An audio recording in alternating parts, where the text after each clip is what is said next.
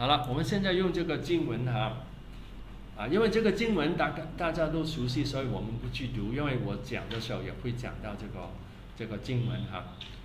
首先我解释这个经文，这个是释经这个大纲的第一步，所以我们讲到的时候会解释这个经文。劳苦担重担的人，到底这个是什么呢？有些人以为就是做劳苦工作的人，这样的话，这个经文就是只是给劳苦做工的人。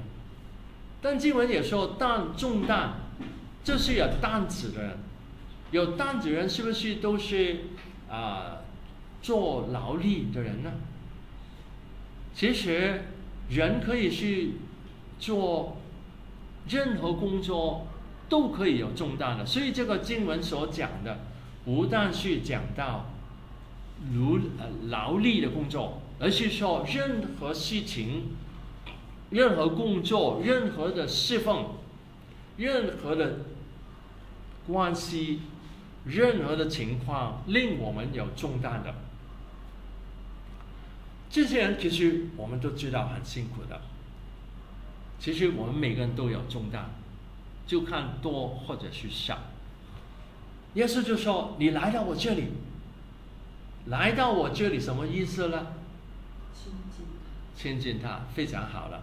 来到他这里，不是墙上放一个耶稣的图画，然后我走过去，不是这个意思，而是说我亲近他，去找他，他就使我们得安息。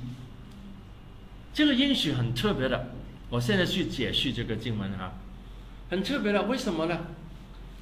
我能不能够对你说，你来到我这里你就很开心了？我没有这个能力，人没有这个能力，但唯有神能有有这个能力，他能够说你来到我这里你就开心了，你就安息了。其实我带领你们敬拜，不是来到我这里，是来到神那里，是神的同在，不是我带来的。所以这个是神的奇妙，也是神宣告，耶稣宣告我是神，在我的里面有安息。然后耶稣讲出他的内心是怎么样，心里柔和谦卑。当我们看到任何的形容词、任何的名词，我们可以看反面，反面会让我们看到正面。柔和谦卑的相反是什么呢？是刚硬的，是容易伤害人的。你说什么？是骄傲自大。骄傲自大的。我们发觉很多人虽然能够帮助人，但他们很骄傲，也是很刚硬。但耶稣是柔和谦卑，我们来到他面前，都会经历神的平安、神的爱、他的柔和。其实有些人去过天堂，他们死了，或者是有些人祷告去的天堂，然后急救活过来。他们说，他们信耶稣的就说：“我见到耶稣啊，见到耶稣的时候，他的爱涌过来，他的接纳是那么美好，他的眼睛充满爱，看到这个眼睛就非常的感动。有些人说这个爱涌过来，极度的感动。有一个人说，没有人能够预备好建筑的，因为建筑实在是非常美好。”因为他是柔和谦卑，是非常美丽的神。然后耶稣说：“来到我面前，你得到安息，你就应当跟从我了。负我的恶，恶就是牛放在他的呃箭头上拉这个泥，啊，就是泥这个土地。然后耶稣意思就说：负我的恶，跟我一起侍奉，跟我一起工作。”而且不是用你的方法，你用你的方法就很辛苦了。用我的方法，什么方法呢？学我的样式，用我的方法。我的方法是怎么样啊？天父说什么我就说什么，天父做什么我就做什么，我做先父吩咐我所做的。有天父与我同在，我们也是学耶稣的样式。耶稣在神面前完全的平安。他在快要定十字架的时候，他对门徒说：“我不能差遣天使来救我吗？天父能够马上救我，但这样的话，经上的话就不能应验了。所以他就完全的相信，在他被钉十字架、被害的时候，还是在神的手中，所以他不惧怕，学耶稣的生命，轻轻松松、开开心心，充满怜悯，充满爱。哈利路亚，我们就安息了。太多人担着担子就没有安息了。然后他说：“这样，你的心原文是灵魂，里面就必得享安息。我们留意有两个安息在这个经文。第一个经，第一个第一次安息是什么呢？当人来到耶稣那里。”亲近耶稣就有安息了。第一种安息，第二种安息是当我学啊负耶稣的恶，与他一起侍奉，而且留意，不是负你的恶，是负耶稣的恶，是耶稣的责任，是耶稣的教会，耶稣的侍奉，我们负他的恶，跟他一起侍奉，是属于他的，所以我们不需要担着担子，神会负责一切的。然后，这个啊，这样的话，当我们啊，让耶稣去负责，我们去负他的恶，不是我的恶。这样，我们心里灵魂第一种安息是亲近神的安息，第二种安息是负耶稣的恶，也学耶稣的生命。有些人负耶稣的恶，没有学耶稣的生命，就很重担了。其实侍奉的担子可以很重很重，因为我们永远都会有些地方做的不够好，永远都有些地方会有不好的表现。如果我们看我们的侍奉，我就说啊，我做的不够好，就有担子了。但耶稣是完全的轻松的，放在神的手中。这样的话，我的灵魂就想安息了。那我问你，你们敬拜神有没有安息啊？有，但你的灵魂有没有全然的安息了？如果你的灵魂里面还是有重担的话，就是代表你是负着自己的担子，你不是负耶稣的担子，你是带着很重的担子来生活、来侍奉。所以耶稣说：“你相信我，我负责的。”我给你力量，我给你恩典，我们就轻松了。然后，因为我的恶是容易，有些人说不容易啊，不容易，很难啊。但神是负责的，他能够赐给我们力量。有神的同在，当你满有神的平安、轻松、喜乐，你所说的话就带着能力。你越靠主轻松，你的话越有能力。你越担着担子，你的话越没有能力，因为是人的话，律法的话也没有能力，因为你只是批判，人你没有，你担心呢，你常常担着担子啊，你越这样批评人的时候，人越觉得重担，因为他做不到。但我们说，耶稣背着你的担子啊，他知道你的担子，他就帮助你，你让他。负责你的一切，他负责，你有没有带领人信主不要紧，你去传福音就可以了。神负责，你让我活在你的里面，学耶稣的样式，你的生命流露出来，就充满恩典。这样的话，你的恶就容易了，但只是精神的，哈哈哈哈哈哈哈哈哈，这样释放就很轻松了。所以我们可以用这个经文反思自己自己的生命和侍奉。如果你是哈哈哈哈哈哈哈哈哈哈这样侍奉的话，你真的是轻松了。但如果你侍奉的时候，哎呀，我今天做的不够好啊！哎呀，这些人都没有改变啊！哎呀，教堂没有力量啊！哎呀，教堂没有钱啊！这样的话，我们就很重的担子，这样就很辛苦。你要轻松，还是要辛苦了？耶稣有这个答案。好了，我现在去解释经文啊。因为我里面充满我欣赏神的轻松，所以我说什么话，你留意我都是讲到神的恩典，让你感受。当我刚才解释圣经，有没有感受神的平安呢？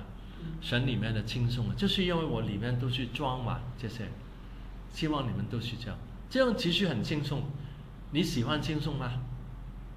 喜欢轻松，就让我们多思想神的恩典，不去思想烦恼、困难。好了，我。现在跟我们的大纲去讲，当我讲讲这个道，我们未必跟随这个次序。有些时候我就在中间讲人的问题，有些时候再开始。很多时候我都会讲神的恩典，有些时候我讲神的恩典也会讲我们怎样做。但我就是这些部分未必是分开的，有些时候分开，有些时候是放在一起的，就看我们能够怎样。调整这个内容，如果你不能调整的话，你需要跟这个次序，你就跟这个次序。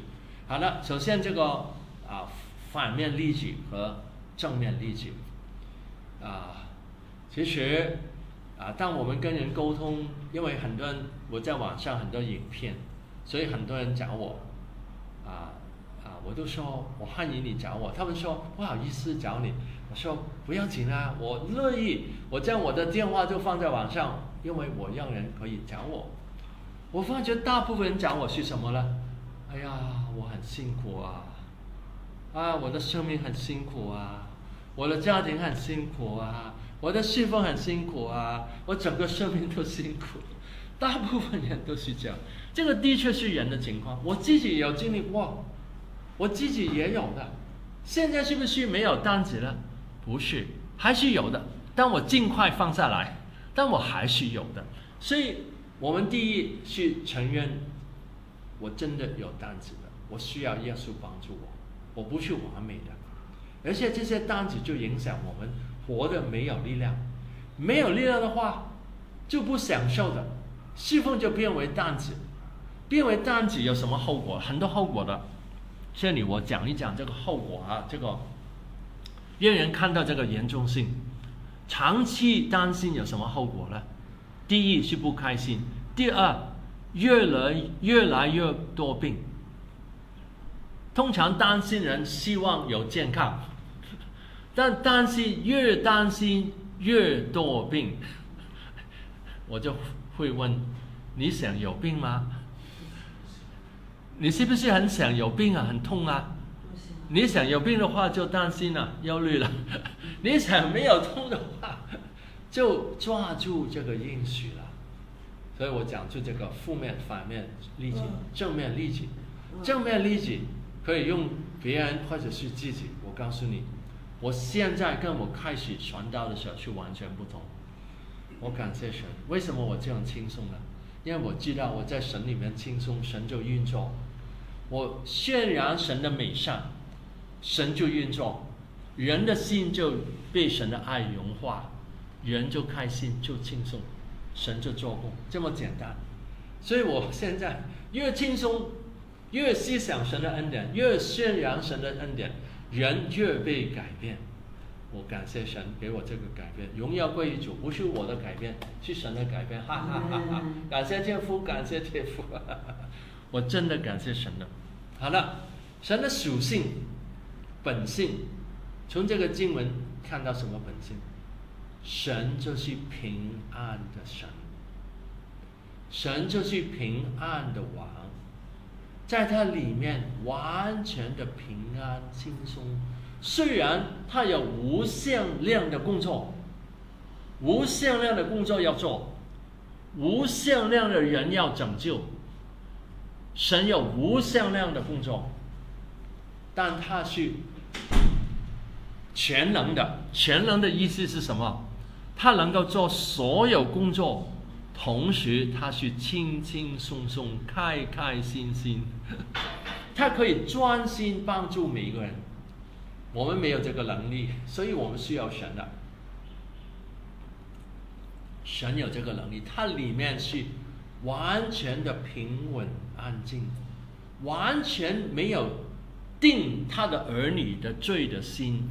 他完全说，完全说，你认你的罪，我完全接纳你；你信靠我，完全接纳你。你在我的里面完全轻松的，他就是这样轻松的神，喜乐的神。好了，他的恩典是什么呢？这个经文已经开始已经讲了，你来到他那里，马上安息就临到你身上。我不能对你说，你来到我这里就平安息了，因为我没有这个能力。我去帮助人来到神面前，去神帮助我们有安息。没有一个人令人有这种安息的。例如，有些人在恋爱的时候见到一个人很兴奋、很开心，但他的生命不会被这个他爱的人改变的。人没有改变人的能力，虽然他很喜欢这个人。这个人也喜欢他，但这个人没有能力改变他的生命。但神有这个能力，所以当我们越亲近神，越有平安。这里我讲神的恩典，也讲一讲啊，如何这个是律法如何。但我讲的时候不是律法性的，而是说神是平稳安静的，在他里面完全轻松。所以当我们亲近他的时候，马上就经历。神的平安，你有没有经历过啊？赞美主，哈利路亚，赞美耶稣，哈利路亚，有没有平安啊？轻松啊？神就是这么美丽的，这样美丽啊！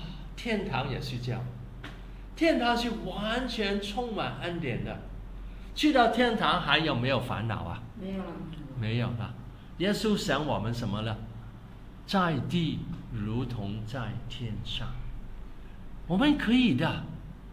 在地上所有烦恼都放在神的手中，常常亲近神，神的平稳安静就充满我们整个心灵，整个心灵都是平稳安静。哈利路亚，哈利路亚。啊，嘞路亚！一边讲一边，你们一边经历，是不是？这个就是这种讲道法。你一边带领人享受神的爱，一边经历。然后耶稣讲到第二种安息，就是地高层次的恩典。第一种的恩典就是你亲近他，他的同在带来的平安。第二种就是当我们与他连接连接。与他的侍奉联合，与他的怜悯联合。当我们怜悯人的时候，就好像他怜悯人的时候，我们就负耶稣的恶。因为耶稣是柔和谦卑，他怜悯每一个人，他这个他的性情啊，他的性情是柔和谦卑，他很温柔，很谦卑，他见到人就怜悯。当我们但与主联合的，便是与主成为一灵。但我们与神联合，有神的怜悯，有神的爱人的心，帮助人的心，神就喜悦。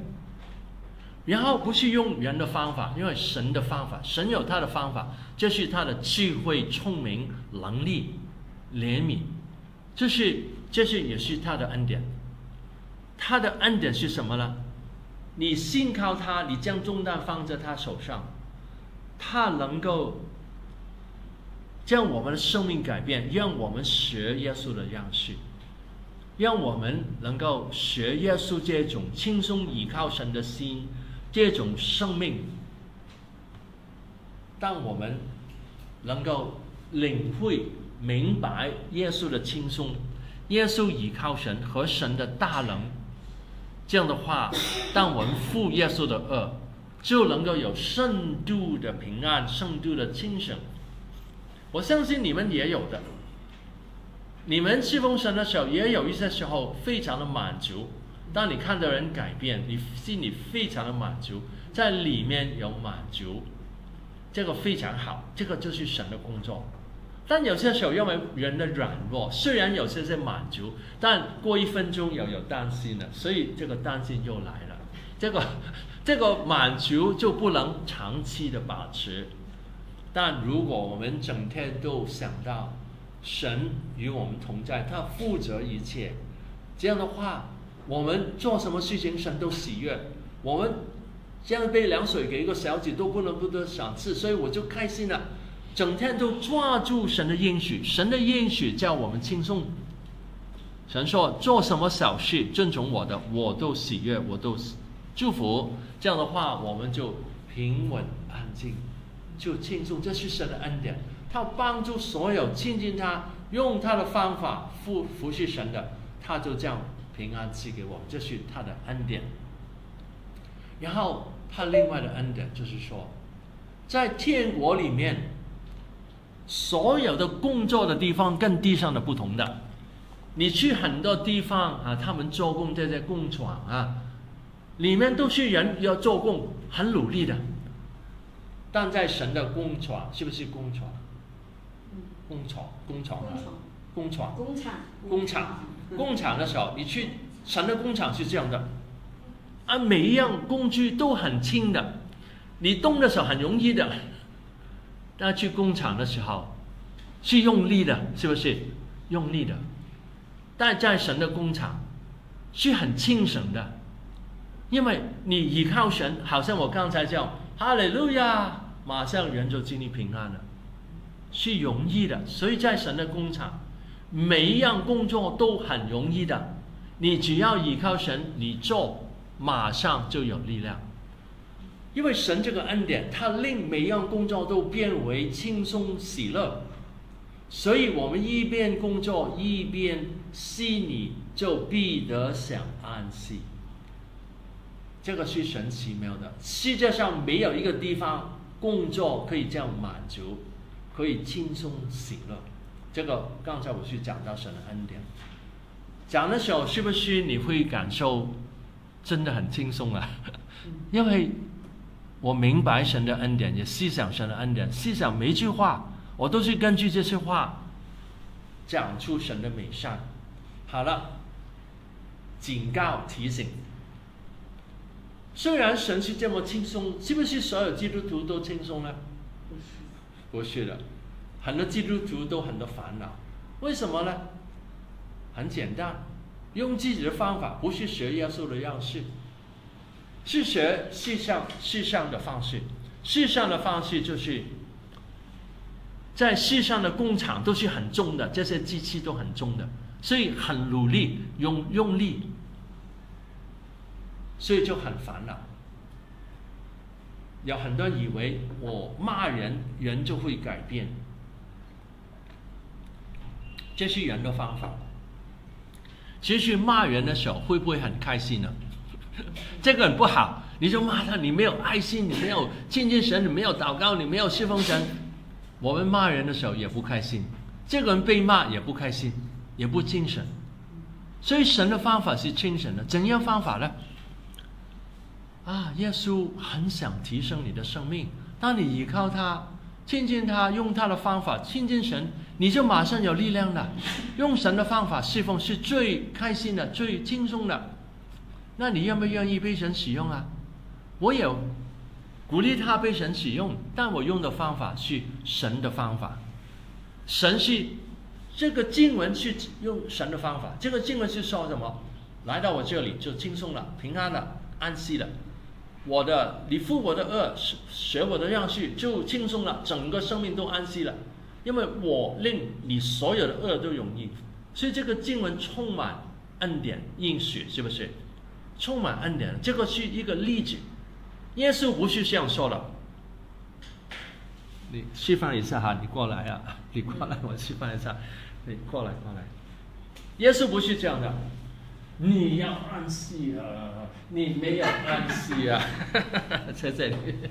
耶稣不是这样的，耶稣不是用压力，压力能不能不能够叫人安息的？不能够，压力是不能叫人安息，压力叫人更沉重。所以这个警告，你去用这个方法的话，你自己有重担，你的教友有重担，你周围人有重担，你的家人有重担。为什么很多婚姻很痛苦了？因为都是吩咐批评，你没有洗碗，你洗碗不干净；你没有放好衣服，你做什么很很不好；你没有赚钱，都是 都是批评。这样的话，就越来越做的不好。但你欣赏他做什么小事，他他欣赏他你做的很好啊！你我欣赏你，我谢谢你这样做，他就更有动力去继续做。好了。如何？我们知道如何？如何可以有这个安息？首先，我会讲除掉这个重担的原因。啊，很多时候我讲到都会讲到除掉这个反面的力量。反面的力量是什么呢？就是自己担着担子，看到问题，第一个反应就是说啊，很难啊，怎么办？因为这是世人的方法，世人的方法就是有烦恼。有重担就不开心了，就担着担子，所以我们就学习神是全能的。你相信神是全能的？这个第一，神有很多证据，因为很多人不知道，有很多证据证明他是神。圣经很多预言，而且我们可以经历神的祷告，可以经历神。我们奉耶稣名可以赶鬼，可以有疫病，生命改变。心灵意志、身体意志，神是可以经历的，所以让我们知道神是可靠，他凡事都能，所以我们就相信了。世人从小的时候开始，都是依靠自己的能力，所以担子很重。有钱有钱的人其实担子也很重的，因为他们要继续赚钱。但我们知道神是全能，是不是代表哇？神是全能，我就什么都不做，不是？我们用神的方法。其实我一天整天都写不同的材料，不啊，我有帮助人，我有祷告亲近神，但我写很多材料。但我写的时候是很轻松的，因为是神给我的智慧、聪明，所以我就轻松。我写的时候就一边欣赏。神啊，你真好，你的恩典这么伟大，哈哈哈！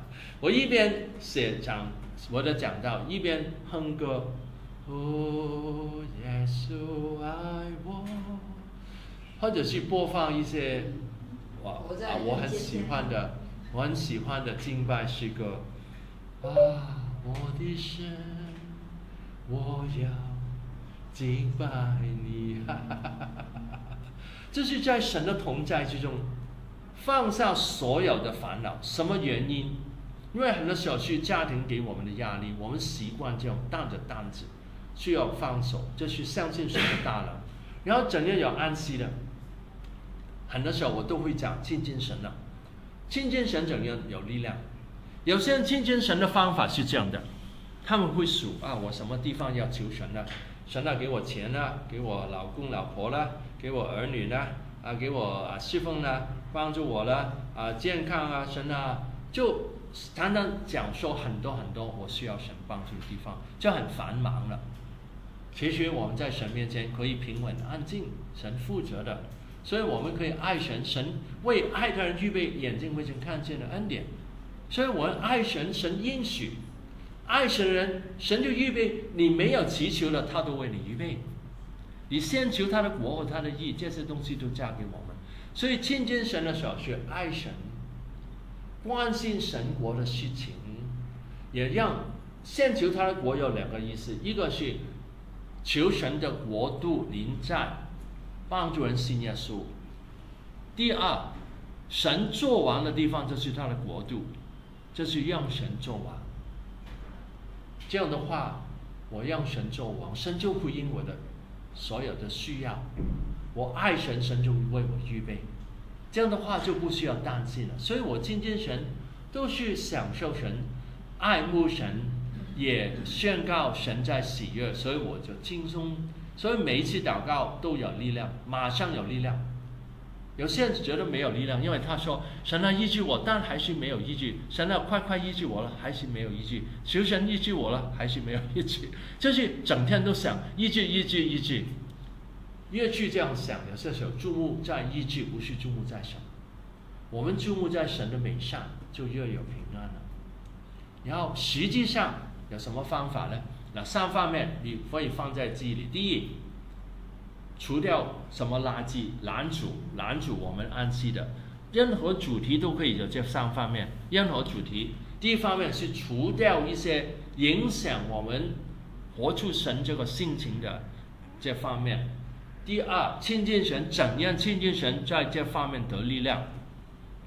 第三，实际上怎样做可以有安息。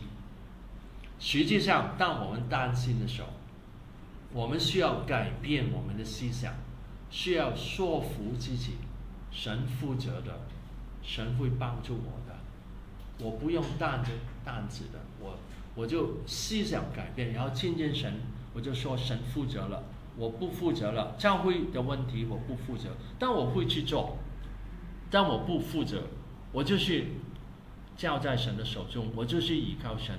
亲近神有力量，当我讲到的时候，都是平稳安静，都是轻松喜乐。这样的话，神你做工，带领人去爱慕神，被神改变。这个就是实际上，当有烦恼的时候怎样处理，也有不同的方法。例如，有一群人一起多祷告、多亲近神是一种方法，也可以请教一些有智慧、聪明人怎样处理这个问题。这样我们不用担着担子。有些时候在侍奉、在家庭、在工作，的确有些问题需要有些的智慧辅导，这我们就找人去辅导处理。然后另外最后一个很重要有用的方法，任何情况都有用。我们有任何进步就欣赏自己。我现在轻松一点了，哈利路亚！我有进步了，感谢神帮助我。我有进步，我也依靠神了，所以我可以开心。这样的话，我们就能够学习进步，就开心了。就是说什么令我们不开心，我们就处理。我们也可以找一些人祷告，一起得力；也可以找一些人辅导。然后有进步，我就欣赏了，我越来越进步。然后如果没有进步，就问自己这个反思：我到底做错什么？我什么地方做的不好？为什么会担心？我的思想是怎么样？担心的话，怎样放在神的手中，就找出这个方法去处理。就是这个实际上，我们需要讲这是实际的方法。例如有些人讲到，但是讲饶恕人啊，饶恕人，你要饶恕，但没有说出方法，人就觉得很难。怎样饶恕呢？里面很多的愤怒，怎样化解这些愤怒呢？这需要啊讲出来的。哈利路亚。你们有没有提问呢？嗯，特别多种。